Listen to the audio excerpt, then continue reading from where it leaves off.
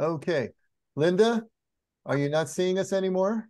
Right, can I click where it says got it? Exactly. Oh, Here, you got it here. Perfect. Very good. Thank you. All right. We are going to be starting on the sixth letter, which is on page 79. It actually doesn't have a page number on it. So go to 80 and go one back, and you'll be at 79.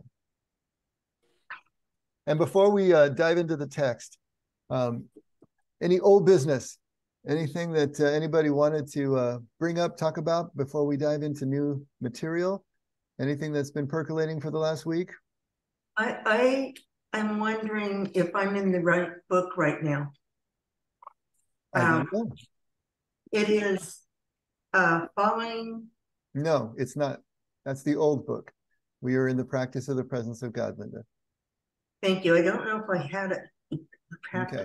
Well, then just listen along and uh, Dave, I'm I'm on a different page than you are. I uh I don't that's sort of been the story of our lives, though, William. but I mean uh, I feel like you skipped a bunch of stuff. My last page was on page 57. Oh, you are Yeah, so mine, right. mine shows that it's fifty-nine. I am so I'm so sorry. I looked at, at page 60 and I saw 80. So yes, we're on page 59.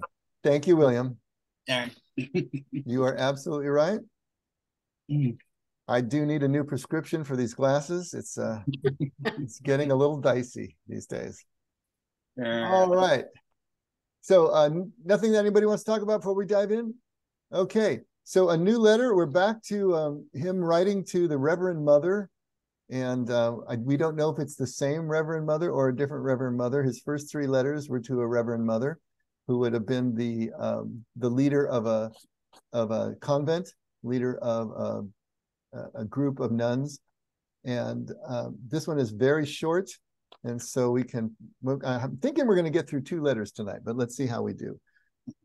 But to the Reverend Mother and Rever, Reverend and Most Honored Mother, although my prayers are of little value, you will not be without them. So here is classic Brother Lawrence, always self deprecating, right? Reverend, although my prayers are of little value, you will not be without them. I promised you that. I will keep my word. How happy we would be if we could find the treasure of which the gospel speaks. All else would be as nothing. It is boundless. The more you search for it, the greater the riches are the riches you will find. Let us search unceasingly and let us not stop until we have found it. He then speaks of several private matters, after which he goes on to say. So there's a, a lot more to this letter that has been edited out because it is, uh, the editor believes it is not of value to us. And finally, Reverend Mother, I do not know what I shall become. It seems peace of soul and tranquility of spirit come to me even in sleep. If I were capable of suffering, there would be none for me to have.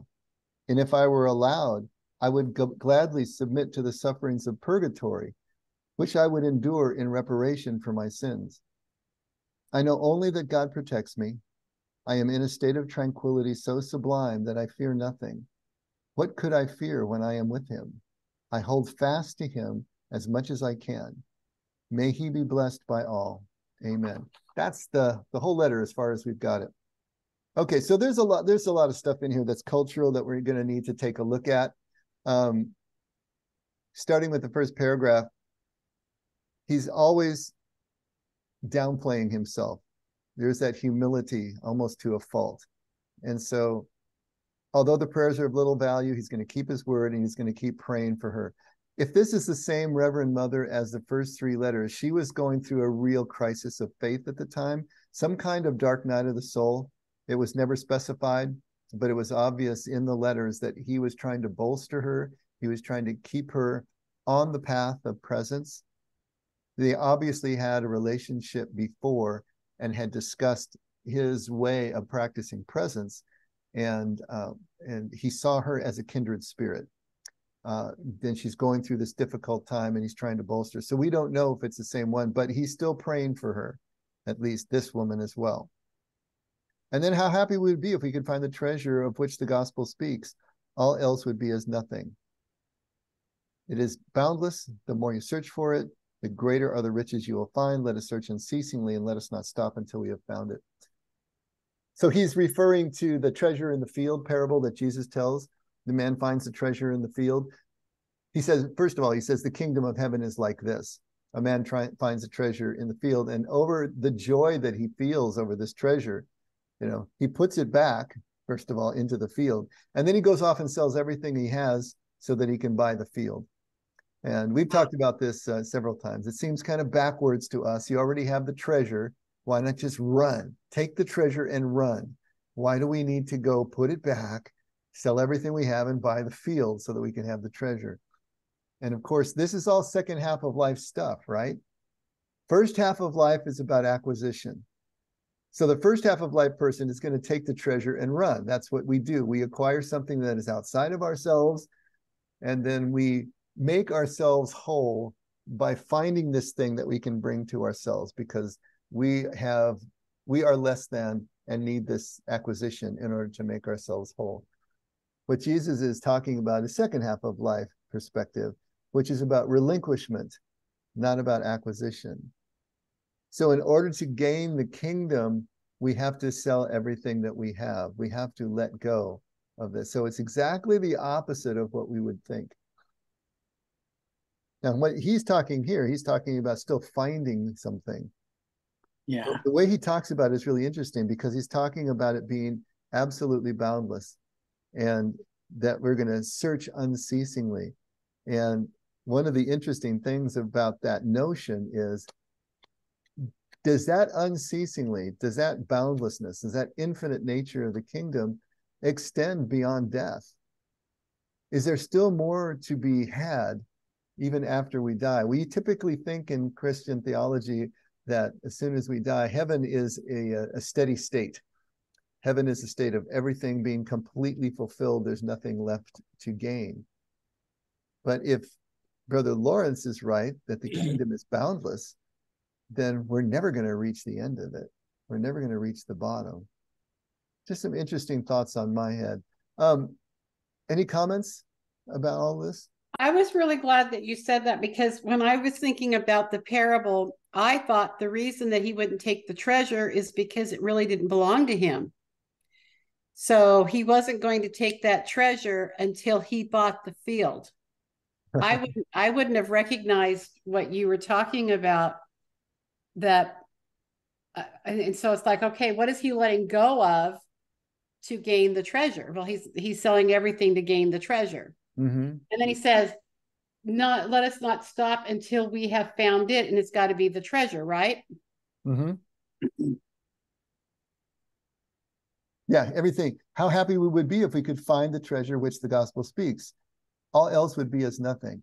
In other words, once you have this this treasure of the kingdom, then everything else that we have lived to acquire, everything else that we have held dear, everything else that that we identify with that has come to define us becomes as nothing in comparison to this this treasure. And of course what is the treasure? If brother lawrence was answering that question what would he say? What is the treasure?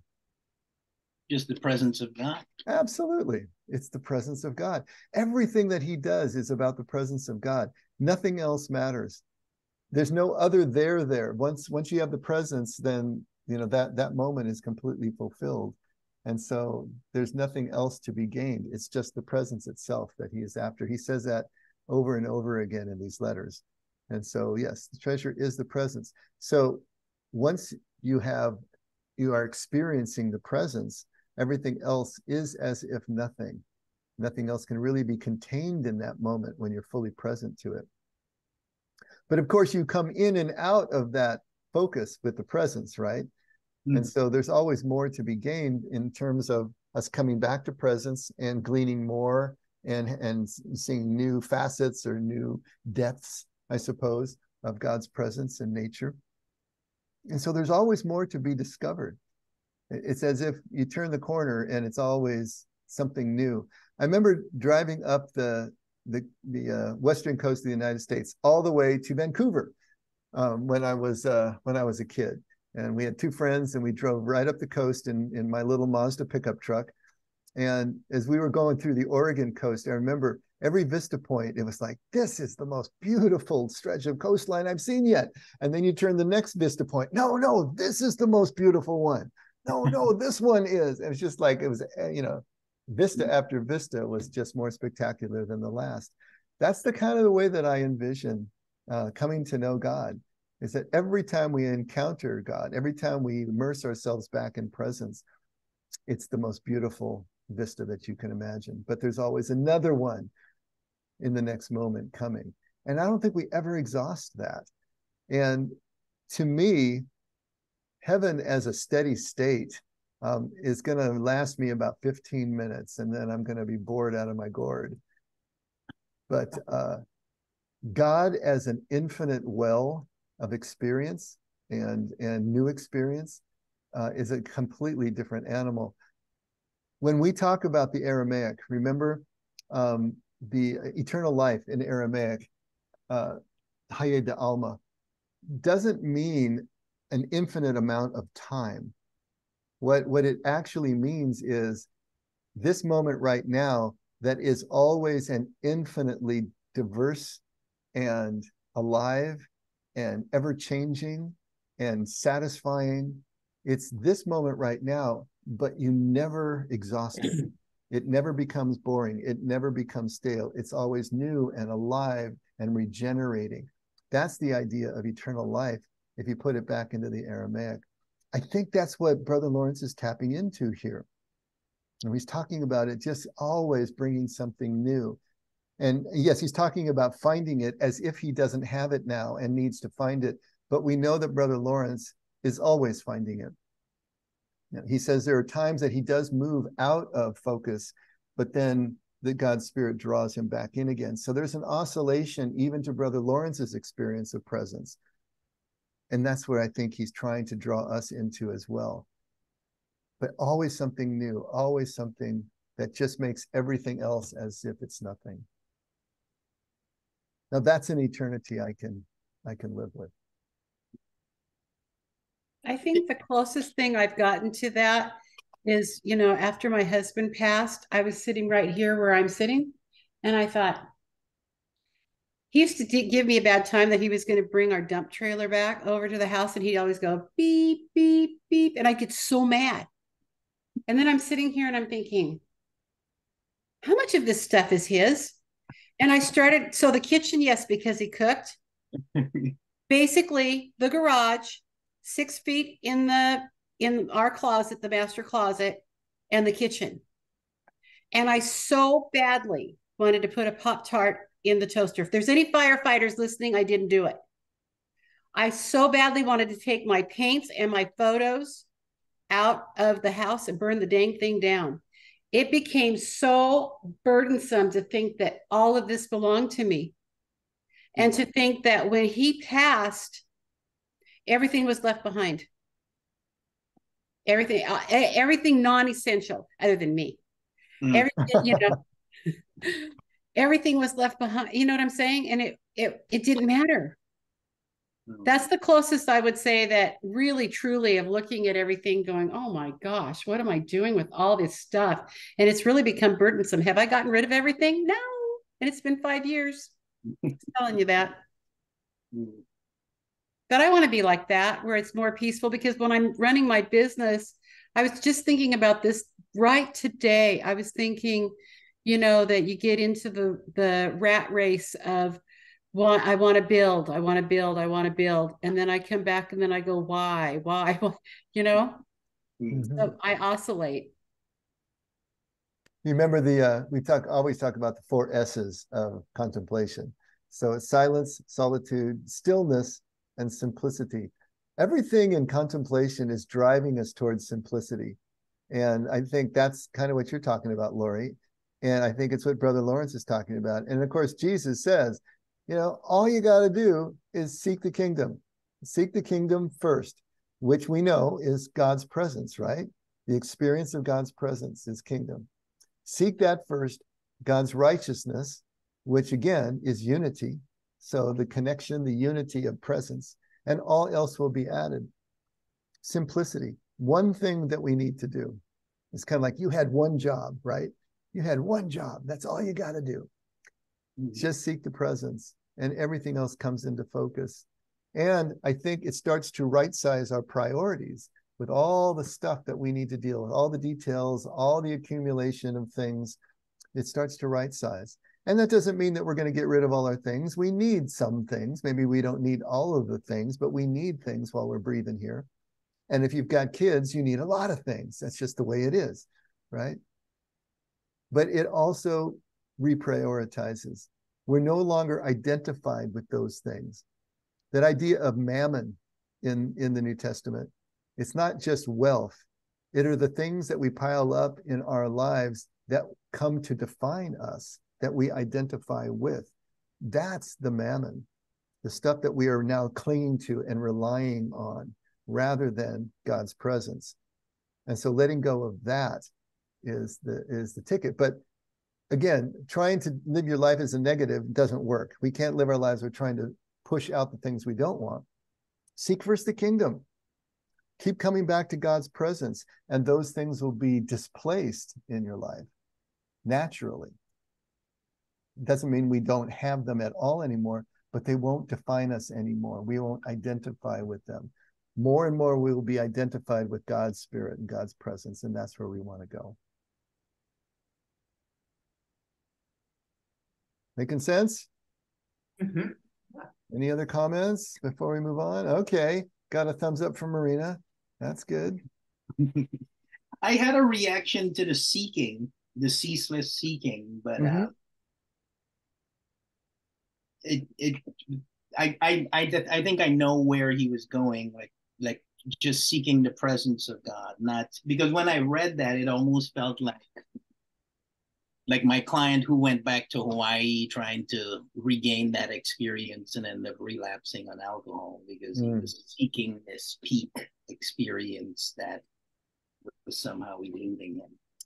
Um, in our session today, we were talking about the idea that you know maybe the people who are the most deeply spiritual are the people who never think about god at all you know you know I, that's a really good point to make william that's a really good point to make at least not thinking about him in a theological way you know mm. just experience wordlessly experiencing god's presence is so much more valuable than thinking about god right because then you're in the flow. I, so I'm, I think I'm right with you if that's what you meant. Mm-hmm.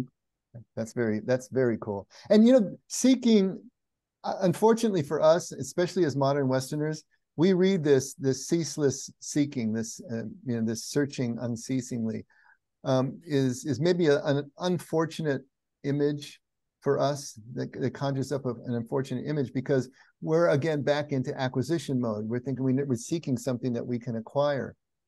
But Brother Lawrence already has the thing that he's seeking.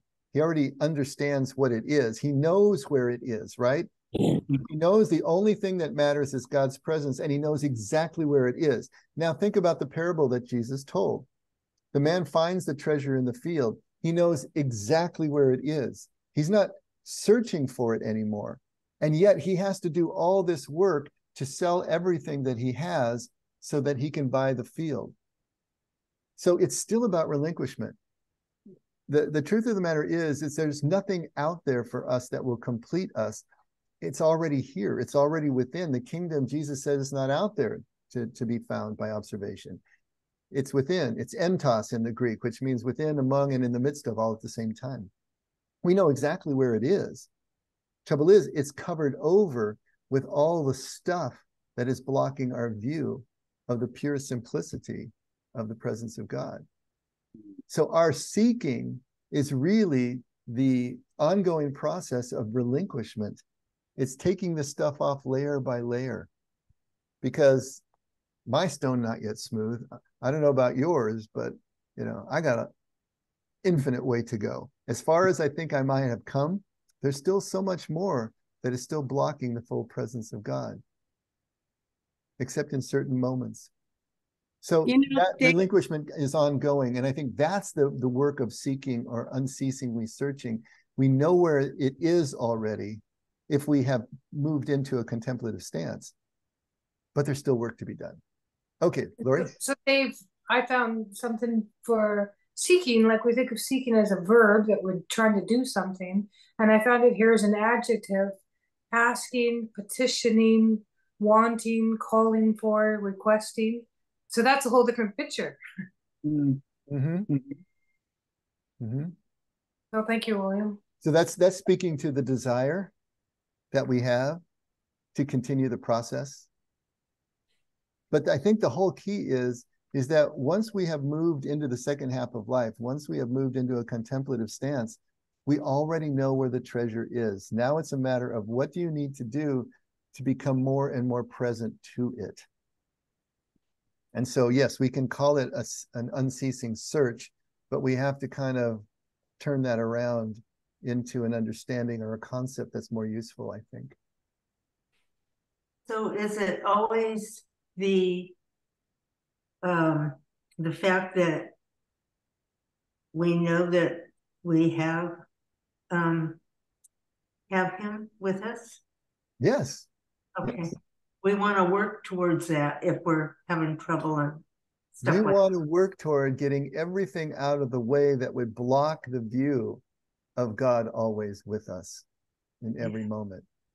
That God's presence is within us it's among us, it's around us, it's in our midst, it's everywhere. We're swimming in God's presence right now. Yeah.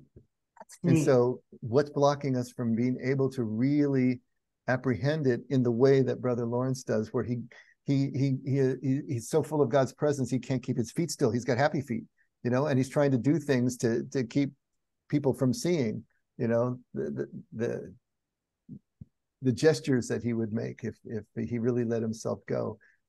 What is blocking us from that kind of experience? That's the work yet to be done. And it's all relinquishment. It's not acquisition, it's relinquishment. And what does that mean? Letting go. Oh, okay. Thank you. Yeah.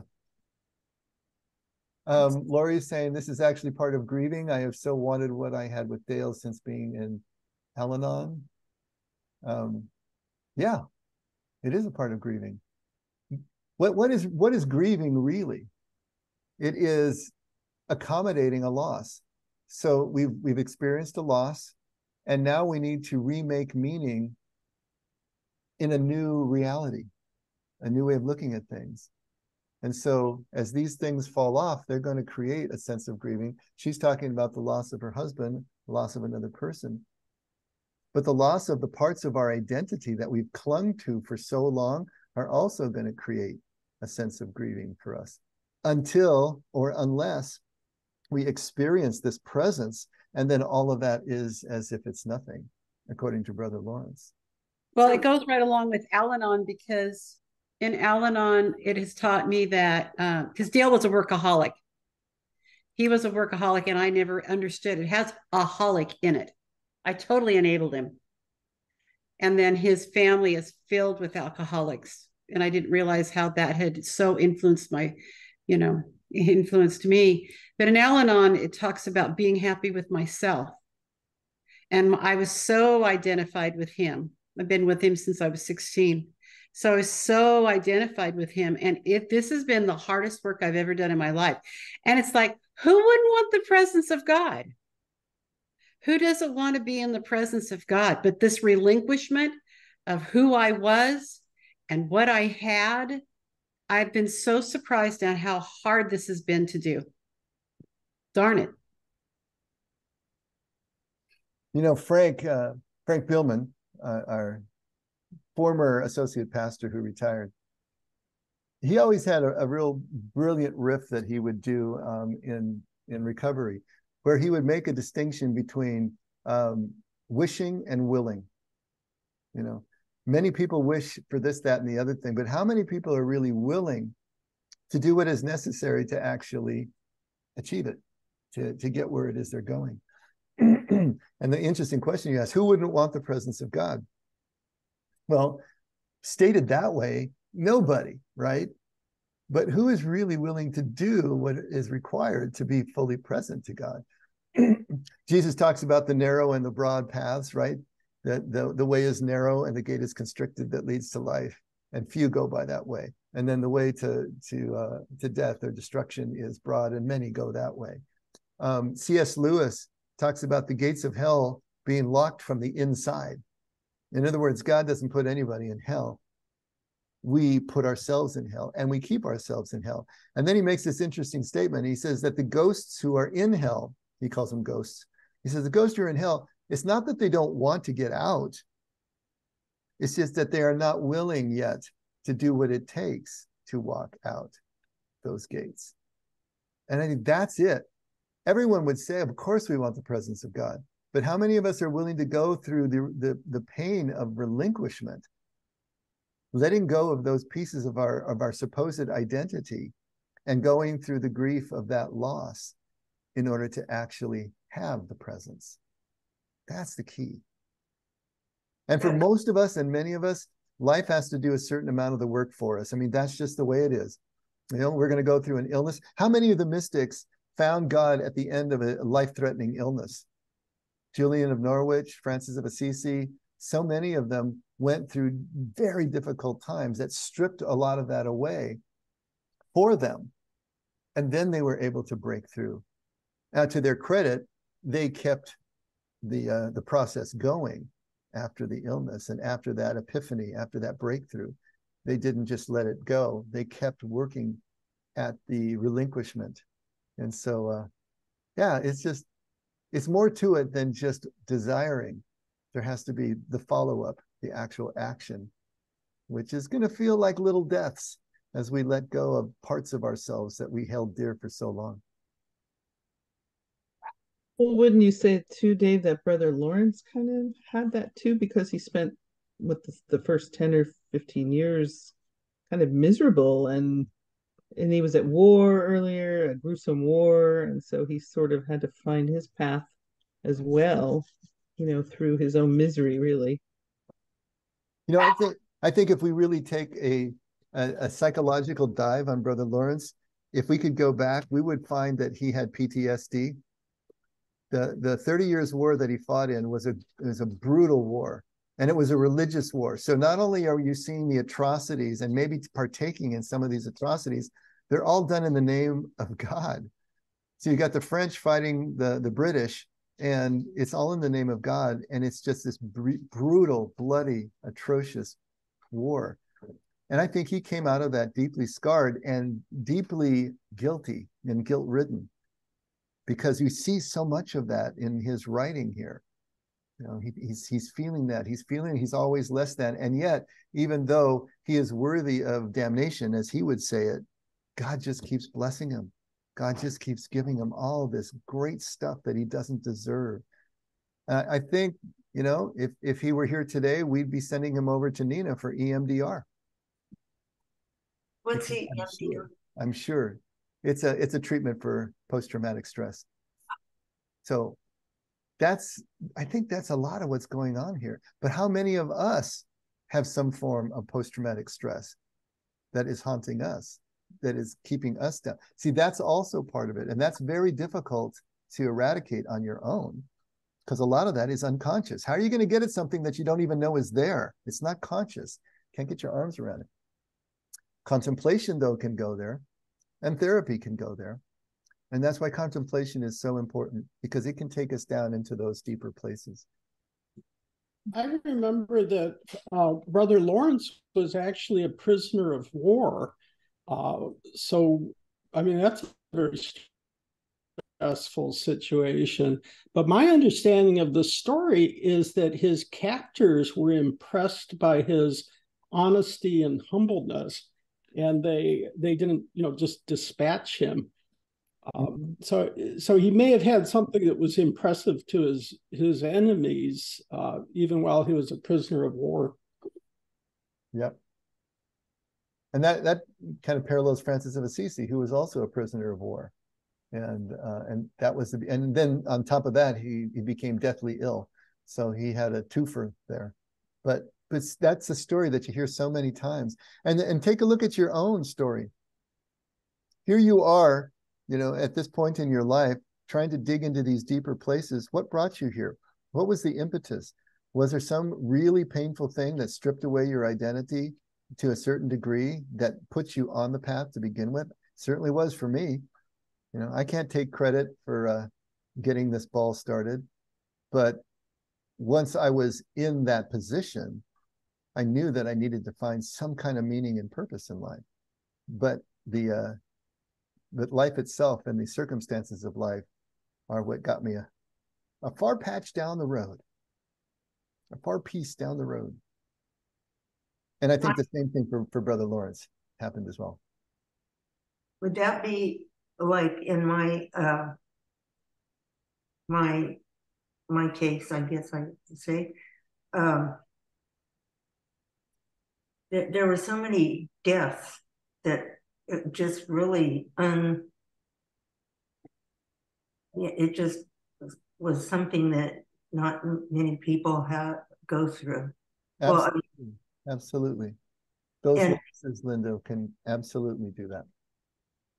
And then, so I spent a lot of time in Alcoholics Anonymous. It really helped. I, you know, and then I felt like I didn't need it anymore because I knew I'd never do it again, you know. Um, and I got here. it's kind of interesting. But your alcoholism as well, Linda, was another defining part of your life that brought yeah. you and you know made you ready when you finally stumbled across the effect right you were you were ready and you were prepared to accept something different. And all that loss in your life and all of that stripping away that life had had uh, brought you was part of the deal you know? Yeah. there's very few of us who do this all voluntarily you know? I love that line where the the the, the man who's celebrating his 70 something birthday says i'd like to say that i am a contemplative by intention but in fact i'm a contemplative by catastrophe. You know same idea but ultimately it doesn't matter what horse you ride in on just get to the stable all right yeah yeah this um this last paragraph is a is a is a more difficult one, and I think it, it really is speaking more about you know Catholic um, medieval culture, um, where he talks about um, Reverend Mother, I do not know what I shall become. It seems peace and uh, peace of soul and tranquility. Huh, easy for me to say. Peace of soul and tranquility of spirit come to me even in sleep. You know, he's always marveling at God's graciousness how it just seems to flow and and he doesn't deserve it and it comes so easily he feels guilty about that because other people he looks around are working so hard at it and and it just seems to come to him this so this is a theme that recurs over and over if i were capable of suffering there would be none for me to have interesting statement right um, the other translation that we're talking about um, it, he says it would be because I do not have any suffering. So, same idea here. If I were even capable of suffering, there would be none for me to have. And, and he feels guilty about that. Because look at the, less, the rest of that sentence. If I were allowed, I would gladly submit to the sufferings of purgatory, which I would endure in reparation for my sins. The other translation, I think, is a little bit clearer. He said, I would willingly console myself with the fact there is a purgatory where I believe I will suffer to make amends for my sins. What is he basically saying here? He's saying for he doesn't believe that he has paid for the sins that he has committed in this life. He's not paying for them. He keeps trying to, you know, he keeps thinking that he's that some kind of of real suffering is coming, something that is going to make amends for the sin. And so at death, he is still going to have to pay a price because he hasn't paid it in this life because God is so good to him all the time. You know, just keeps giving him good stuff and not the suffering that he needs to purge his sins and pay for them in the way that they think of this balancing of scales.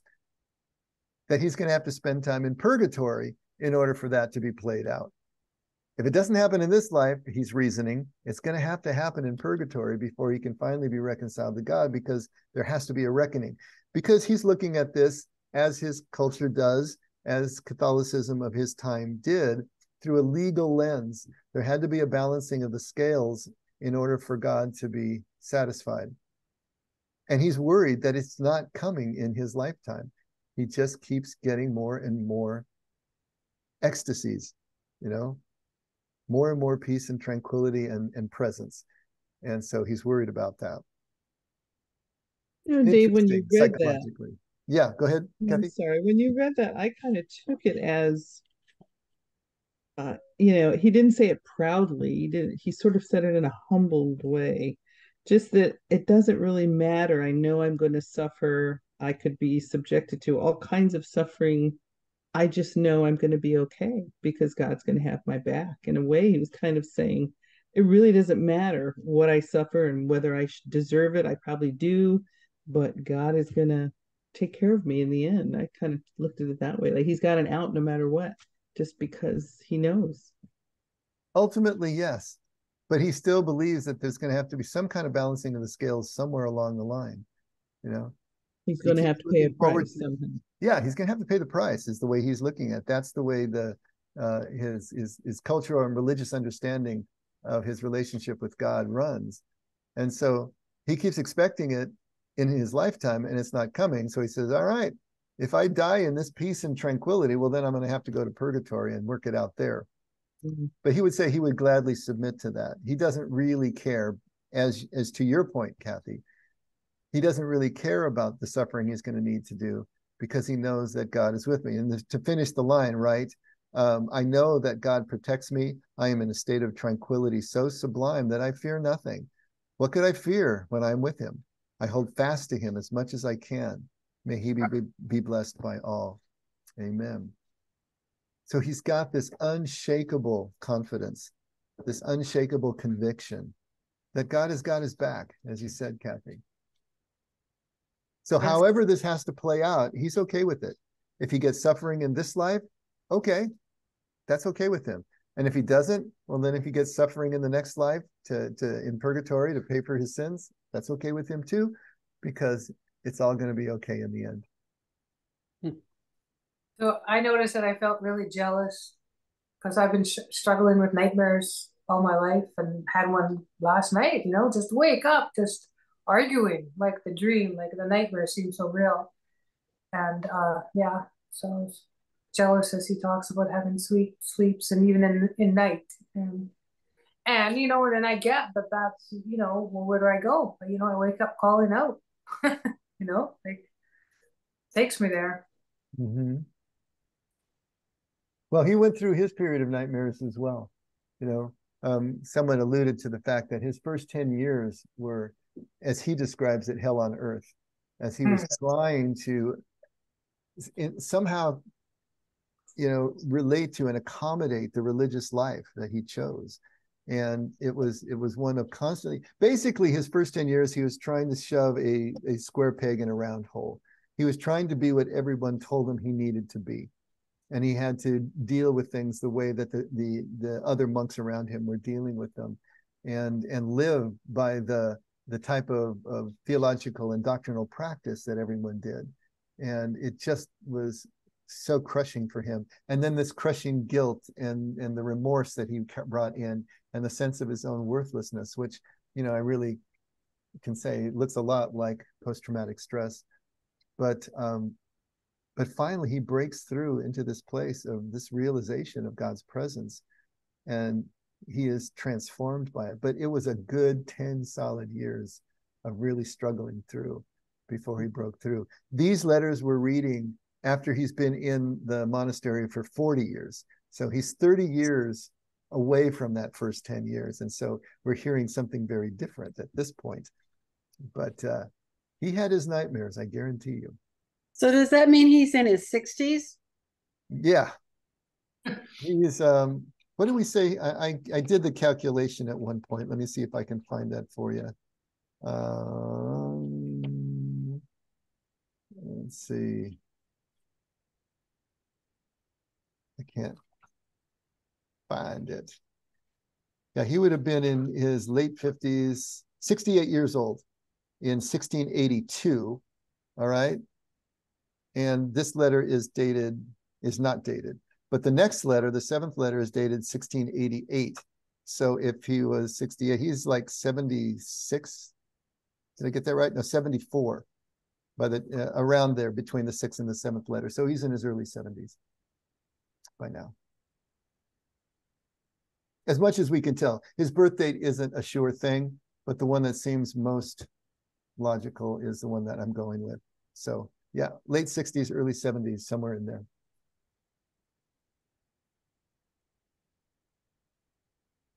So there's been some water under the bridge in his life at this point. I like reading about that. Mm-hmm. Well, let's see. We still got about 10, 15 minutes. You want to dive into the seventh letter? Is there anything you all want to talk about with the sixth letter? Or have we mined that thoroughly? Let's go to the seventh letter then. Now, this is to uh, Mrs. N. And so this is to a, a lay person. So someone different. He writes, Madam, we have a God of infinite goodness who knows what we need. I have always thought he would allow you to suffer great afflictions. Oh, thanks very much, huh? He will come in his own good time and when you least expect it. Hope in him more than ever. Thank him with me for the graces he has granted you, particularly for the fortitude and patience he is giving you in your afflictions. It is a sure sign of his care for you. Take comfort then in him and thank him for everything. Okay, this sounds pretty perverse when you first hit that sentence, right? Mm-hmm. All right. I've always thought he would allow you to suffer with great afflictions. All right. But now let's think of this in light of what we were just talking about. He believes that there has to be recompense for sin, right? And that the sin and the suffering brings us closer to God, either theologically or just in terms of presence. He had to go through his own suffering to finally break through to God's presence. He sees this as a gift. And that's the thing that that's difficult for us to understand. We don't know anything about the relationship. We don't know who this woman is but we know that she is now suffering something very severe. And what he's actually doing even though it sounds like a slap in the face insult to injury he is trying to turn this around for her he always thought it's, there's almost like a bit of envy there you know, because he hasn't gotten the great afflictions in his life that he thinks is going to finally even the, the scales of justice for him. And so he always thought that that was going to be there for her, this gift from God as he sees it. And God will come in his own good time. Or in the other translation, God will come when it feels right to him and when you least expect it. So I don't know if he's talking here about her death that God will take her away from all these afflictions in death or in just the simple presence that he broke through into. So maybe it is that she is struggling through these afflictions and she's trying to find God's presence and they've been counseling or talking together about that and she's starting to despair that it's just never going to happen. I mean, how many of us have felt that way? You know, we're trying to find God, we're trying to connect with God and it just feels like it's never going to happen. And maybe she's starting to lose faith, lose hope that it's ever going to break through for her the way that Brother Lawrence describes it has for him. But God will come in his own good time. God will come when it feels right and when you least expect it. Hope in him more than ever. Thank him with me for the graces he has granted you, particularly for the fortitude and patience he is giving you in your afflictions. It's a sure sign of his care for you. Take comfort then in him and thank him for everything. So cast back in that sort of light, it makes more sense as a as actually a loving response to um, the pain and the the suffering that this woman is going through. Well, this goes right along. I'm working on the second step that I've come to believe that power greater than myself can help me through my insanity, which is whatever. And I was just talking to one of my wise friends just today. This message I feel is so for me. Um, we were talking about the adversity that I've been going through in in the recent time, and she read to me from Survival in an Alcoholic Home.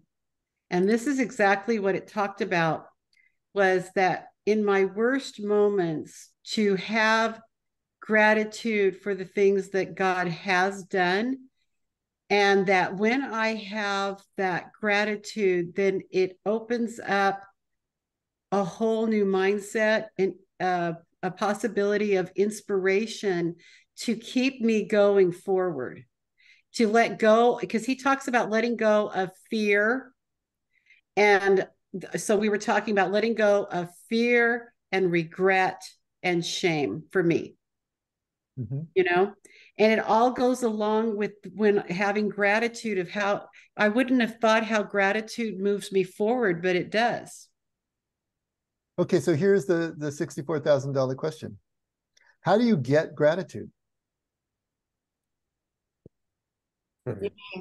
From other. Can you can you just decide that you're going to be grateful? Can you just stand in front of a mirror and count your blessings? Is that how we get gratitude? Are you asking me specifically? I'm asking the, the whole room, the the the uh, the entire the entire eleven of us. By the way, we lost. Uh, um, uh, William had to go. He texted me to say he that he had to leave, so he he said goodbye in text. I I just ask myself the question: What do I? What do you feel grateful for today? And usually something pops up, mm-hmm. and I I feel better after you know my I don't my consciousness answers that question. Okay. I've been trying to write because I've been so good for the past five years about writing, you know, in my journal. But I've really been wanting to, because I'm telling you, running the business without my husband has been a miracle because I never ran a business before. And it's multi-million dollar business. And so what I've been trying to remember to do was not just write about the bad stuff, write about the good stuff so that when I hit the depths of despair, as Anne of Green Gables would say, I've just hit the depths of despair. If I go back and I look, okay, and he blessed me here and he blessed me here, then I'm not feeling so alone. Okay. Uh, another strategy is just to uh, show greater appreciation for the, let's say you have nothing, right? No business, no house uh, you were just this homeless guy on the bank of a river, you could still feel grateful that you were alive. Um, you know, it, it, could be, you know, just grateful that you have your senses and you can uh, appreciate be, being here. That might be enough. Okay. I was a little thrown off by the question of how you get gratitude because first thing it came to me is you don't get it, you give it. So to give thanks doesn't matter where I'm at or when I'm I'm seeing, I'm breathing, I'm being given this beauty all around me, the sky, the trees, the you know, if we kept giving thanks, we wouldn't have time for anything else. I like that. That's that's that's great. Gratitude is a choice. When you go through your challenges and the things we face along life's journey, I can't tell you how many times I'm faced with something, and based on my choice, really dictates what kind of day or week or month or year I'm going to have. So I try and as often as possible choose to be grateful for the things that I experience in my life. Mm-hmm. Oh, you're you're muted, Kathy. I was just going to say, I think it's a balance too between you know our expectations in life and and i guess having just come off of the whole richard rohr book you know seeing how so many expectations we had as we were growing up and as we were in our ambitious years of life and and you kind of get to a point where it's you do have more gratitude. I think it kind of grows and then maybe you realize it um, I like that idea Marina said about just giving it away. I mean, some of some of that comes as well, but but then I think of younger people that have had tragedies in their lives, and you see them turn their lives around, and you see them with gratitude, just filled with gratitude through you know some tragic accident they have, and now they can't walk anymore, and their whole life has changed before them. It's almost like they've grown up immediately and gotten this gratitude. It's it's amazing You know, I'm sure they have to go through rough times to get there. They have to go through the anger, denial, bargaining, and all the other things that you have to do to get there. But it's just something about that balance between expectations and then just being grateful for what you have and not expecting all this stuff that we were expecting maybe the first half of our life. Mm-hmm. That's great. That's great. Patricia, are you still with us? Patricia? Yes, I'm here. Can you comment on gratitude for us? For me, it's my thoughts create my emotions. So it's just, if I don't have gratitude, it's just changing my focus, changing my thoughts. Uh, like Scott said, it's a choice. Mm-hmm. And it's also realizing trust is part of it for me, realizing that I don't have the big picture and uh, that's okay, you know. But it's it's it's just trust that that God is always there, and knowing He's always there. It's only me that can separate myself that mm-hmm. that can create that separation. Good stuff. Who else haven't we heard from? Bill and Gail. You want to jump in here at all? I'm kind of going through a time where I'm trying to sort through how much I've been trying to program myself to think right, to just make the choices that I've made, and whether they've been driven by me or whether they're really God's presence that's speaking into me. And I'm I'm not testing God right now, but I'm feeling like I'm letting go of a lot of stuff and just seeing where this awareness can come from or not. And what's causing it? Is it just me talking myself into it, telling myself how I'm supposed to be thinking? Or is it really happening in my experience? And so I'm kind of in that middle of that wandering in a sense.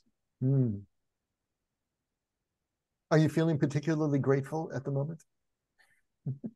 um, in some regards, yeah. Good.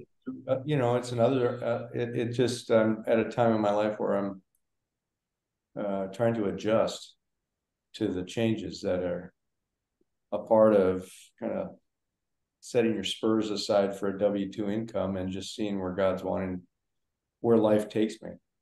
Yeah. And whether God's really not, you know, I'm chewing and chewing again on the, um, accepting life on life's terms and how much is it really depending just on me and how much is God in the midst of it shaping and inspiring me or not. So I'm, you know, testing, questioning all the past programming a little bit.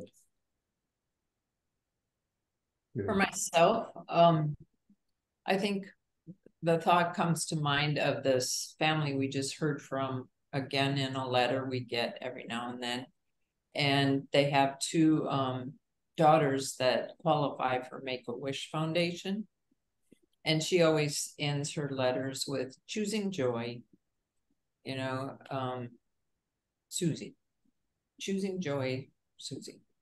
And she really does need to choose joy because she has much that, you know, could go the other direction. And I have adopted that for myself that it is my choice. And even in those days when um, I'm heading south, not a good place. I, uh, in order to come out, uh, I have to, I, I do choose joy. I choose something that to be grateful for. And it does make a difference. Yeah. Very good. Vaughn, are you there? You want to chime in, buddy? Yeah, I'm here. Just so many thoughts going through my mind. As a clinician, I found myself looking at patients who are unique in every way. They sometimes were depressive more than uh, uh, looking. So it depends, I think, many times on the person's nature of things. So if their nature is depressive, they tend toward that. If they're more open, they're more tending toward that. But in all situations, no matter what it is, um, having a gratitude list, for example, is a simple tool, works most for many people. Maybe making a list of those things they're grateful for. It comes out of Al Anon too. Many things come out of these uh, self help groups, which are helpful for all who work through things in life which are trouble, troubling. And again, for all of us, it's different. So, for emotionally, also different physically. People have different struggles in life. So, the ease of it may be different for those who have more profound struggles. But the fact is that we all have to face them ourselves. There's, and PTSD is very real, which you've seen, Dave. And seeing things like that, they've been through things that might have affected their so their inner being. So that's changes. This was more complicated than simply being grateful. Just cheer up. Some, some some words like cheer up. Come on, get over it. Like that's hard to do. So that's my thought. Yeah, I think if someone just t- tells you to cheer up and be grateful, it's kind of like when someone tells you just snap out of it. And yeah. you, you, have you have my permission to slap them right across the face. exactly. So completely that, unhelpful. You know, for me, that was my that was my recommendation to the doctor, the patient to Yeah, do that. All right. Dave, Dave, for me, comment okay, that. go ahead, Bill. One last comment is that when I hear that of, uh, I don't hear come get over it, but uh, I remember my dad saying just a simple word of keep your chin up. And the only reason that really has credibility when I look at what he endured through his life that teaches me that just just be conscious of myself keeping maybe it's maybe it's my face toward god instead of just being downcast and just mm-hmm. feeling no presence just the awareness of lifting my chin has been kind of a simple thing that from my dad I take as a I don't know it's in my it's in my root somewhere but you know what? I think you're making a real important distinction. There's a big difference between keep your chin up and snap out of it. Right. Keep, yeah. Agree. Keep your chin up is kind of like Winston Churchill saying, when you're going through hell, keep going. Right. Yeah. Right. Yeah. yeah it's, it's perseverance. Has demonstrated that by what they've endured and come through in their mm-hmm. life. It has credibility as opposed to hollow, empty motivational speakers, whatever you want to. It comes with credibility when you know that that person has endured and lived through and kept going through hell and they've kept going. It's pretty amazing. And so that's a very different message. Yeah. To keep showing up is the message that we do need. Doesn't mean that we're going to feel different but if we keep showing up we eventually will move into a different space. Because for me gratitude is more of a byproduct. It's not something that you go after directly I, actually, I think of gratitude as the felt experience of God's presence. When we've gotten everything else out of the way, that's why I think you know, you know, choose joy means that you're clearing out all of the egoic things that are keeping you rooted in this place of misery. And and even what John was saying, you know, about how he uses certain techniques, or Vaughn was saying, I think all of those really what they're doing is they're getting our own headspace out of the way so we can just be here now and present. And what that feels like is grat is what we call gratitude. Um, and so again just one thing we need to do. If we keep showing up if we keep our chin up and keep showing up to practice presence the result of that is going to be gratitude.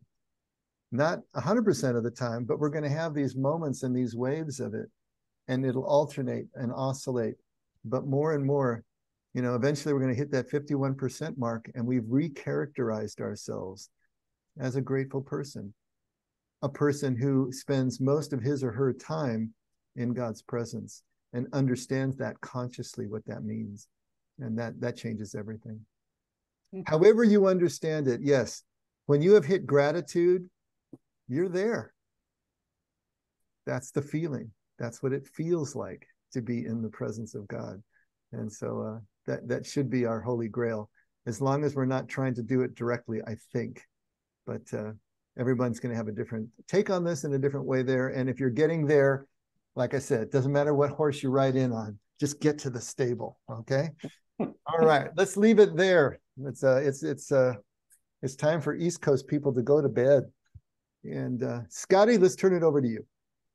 Father God, we're so grateful to be here with each other and with you and studying these concepts and ideas and all in an endeavor to understand you more completely. And that's a never ending journey. But one thing's for sure when we place our eyes on you, we can see love. So we're grateful, Father, for how you love us. We pray and we give our thanks and we ask all these things in Jesus' holy name. Amen. Amen. All right. Marina, I love your dog. I was thinking the same thing.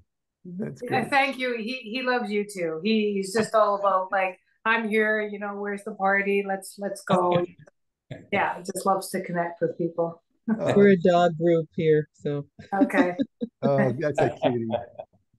Marina, it was a pleasure to have you with us. We hope we'll see you again. Thank you. All right. Good night, everybody. See Good you night, on guys. Sunday. Sunday. Sunday. Good night. Bye, Kathy. Thank you, Dee. Good night, uh, Linda. Good night, Jor- Jordana. And you be safe up there. Okay, up Okay. north. Well, I'm gonna be streaming on Sunday, so Fantastic. So you'll see us, Let- but we won't see you. yeah, let Mary let We'll- know that she could We'll, say we'll do a, something. we'll do a shout out to you and Vernon and, and your mom. How's that? Okay, thank you, Dave. All right, you guys. See you soon. Bye, Linda. Bye.